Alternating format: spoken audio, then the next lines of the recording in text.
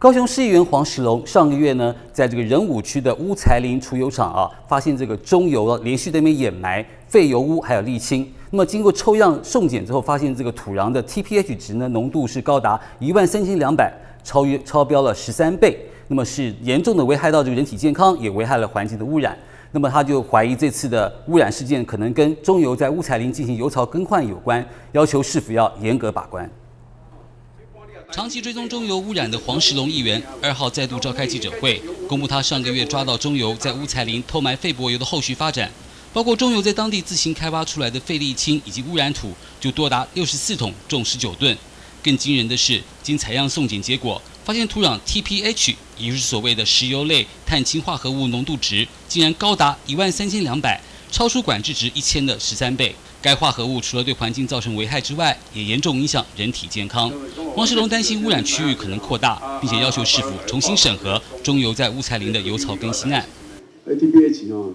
是一万三千二啊，一万三千二，按的标准值哦是一千年，按标准一千哦，伊是一万三千一。啊，现在乌才林乙丙都无生产工厂，现在好才会有你哦，这是我的合理怀疑。因为因五彩林呢，因那边有要这个油槽扩建，是啊，啊所以呢，合理怀疑遐遐二十四个也六千的油草内底污泥，一定是一定是起来偷代一家的对，起来偷代是食，法条拢写啊足清楚啊，连续诶诶重大违规，连续诶连续重诶诶犯就对了，一定要勒令停工处分，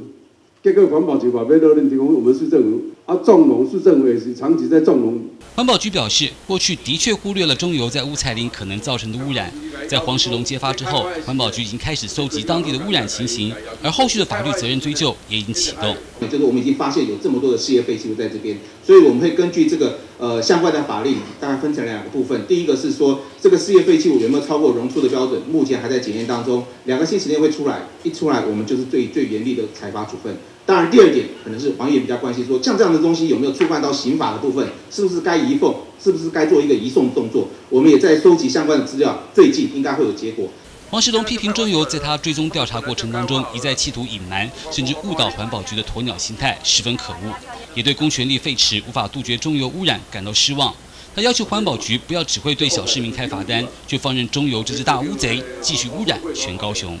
港都新闻黄杰士采访报道。